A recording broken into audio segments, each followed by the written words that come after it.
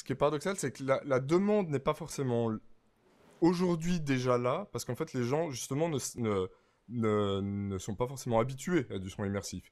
Par contre, moi, l'expérience que j'en ai depuis un certain nombre d'années, et si les grands acteurs se mettent dedans, c'est une bonne réponse à cela. Euh, à partir du moment où on fait écouter ce type d'expérience euh, à n'importe quel auditeur, le retour en arrière est très difficile. Mmh. Donc, en, en, fait, le son immersif a été est, est resté un peu en, sourdine pendant pendant 15 ans. Et là, depuis depuis deux ans, on a vraiment une demande qui commence à augmenter. Et à partir du moment où elle est poussée par des gros acteurs industriels, la mutation va se faire.